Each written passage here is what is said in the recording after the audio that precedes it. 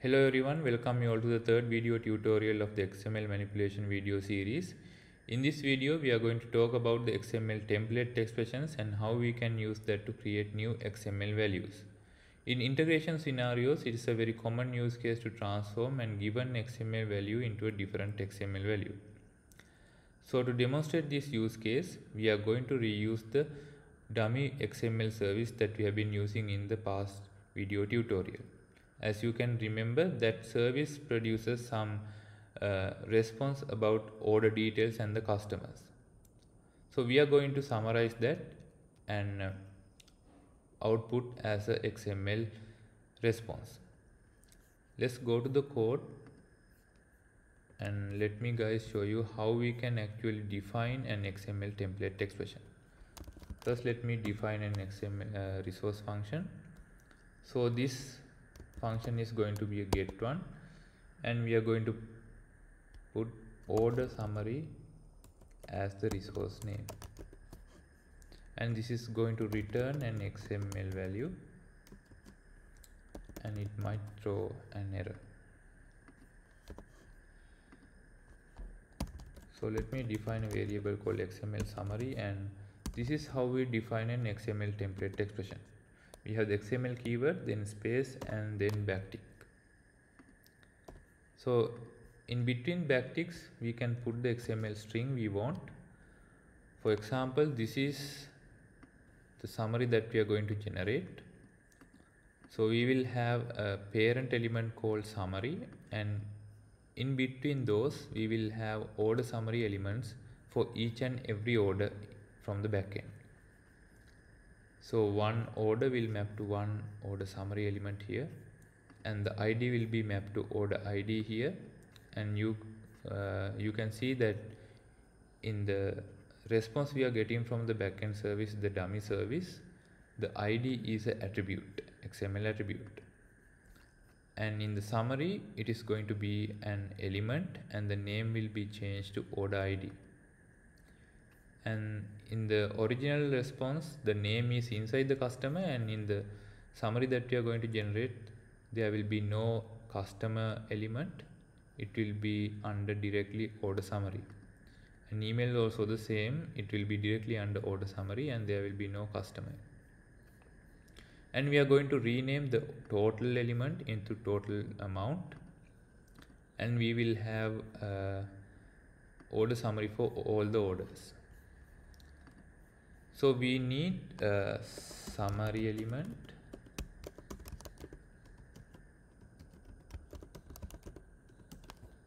Okay now we have created an xml template expression which only consists summary element. Now we need to fill in the middle.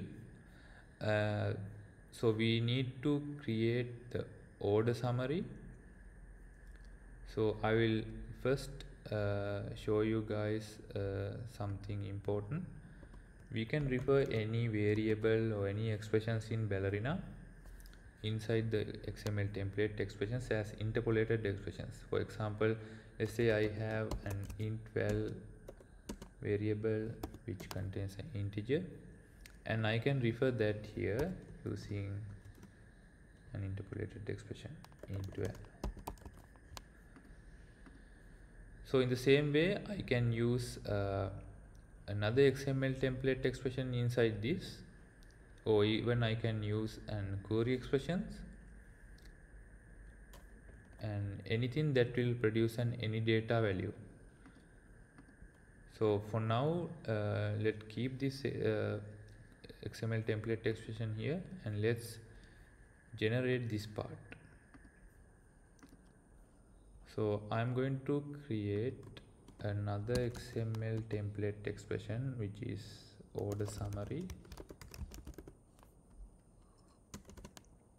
And it is going to be XML template and it will contain the order summary element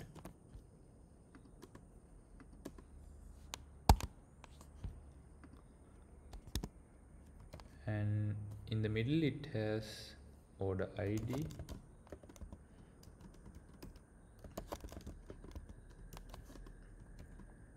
and also we have the name. And we have the email.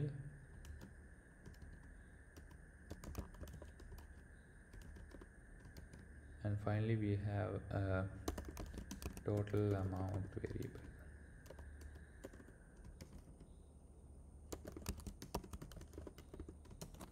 okay.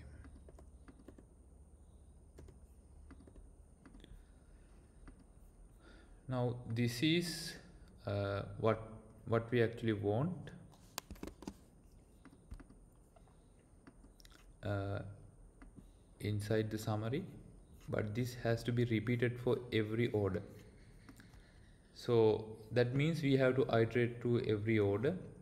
So in order to do that we have to use the navigation expression. So if we can use the navigation expressions to go to order element and use an query expressions to traverse to them then we can actually generate this part. That means this part iteratively. So this is how we define this part. But this is useless because uh, this will only generate one order summary. So in order to generate uh, all the order summaries for all the orders in this uh, XML body we have to use uh, query expression. So this is how we use the query expressions to iterate through all the order elements. So let me give a variable name for that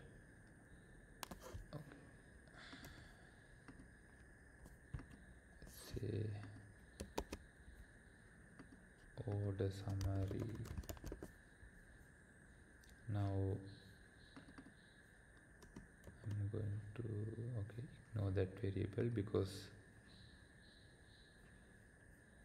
this one is going to be the real one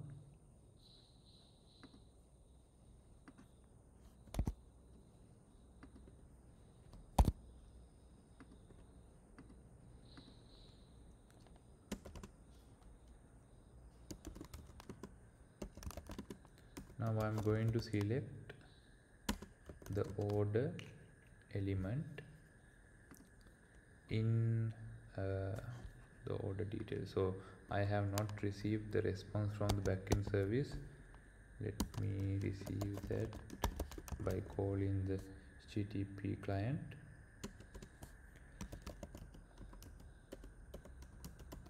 Okay I call the orders endpoint of the backend service and from that I am getting uh, the odd element right? Now now I have used an navigation expression here. Now I can go to this point and this point and this point iteratively so all the orders can be referred here by this order and this from clause will iterate through them. So we have four orders here. So it will iterate four times. Now for each and every order I need to generate this part. So now what I'm going to do is I'm going to select and copy this whole thing here okay now I don't need this part.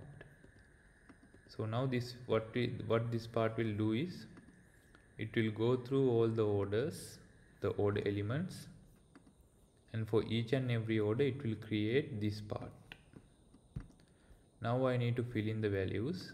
So order ID will be the ID uh, attribute. So this is how I refer it I have the order variable here and to access an attribute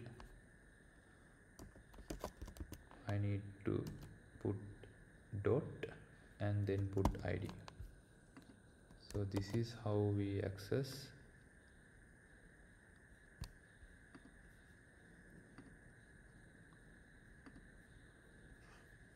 an attribute.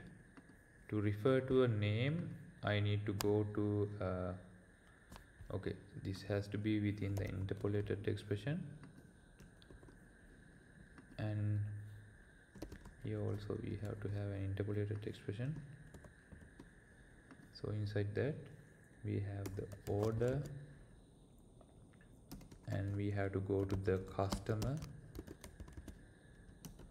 And then we have to go to uh,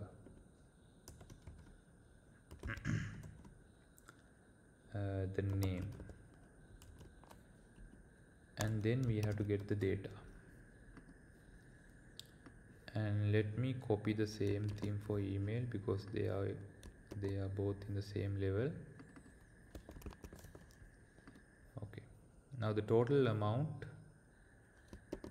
it's in the order element directly. So let me refer it as uh, total.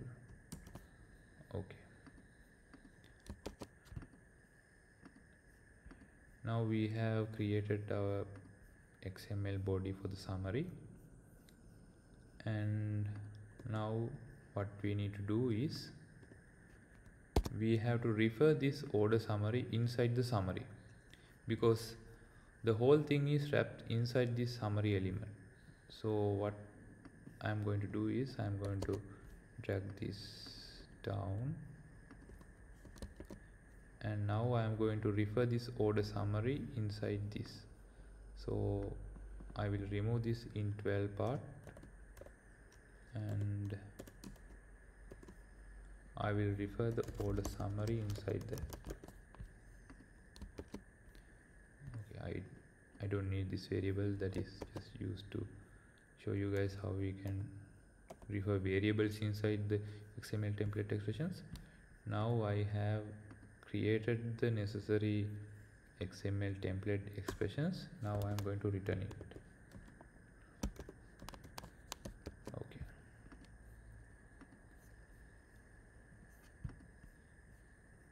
Okay now let's run the service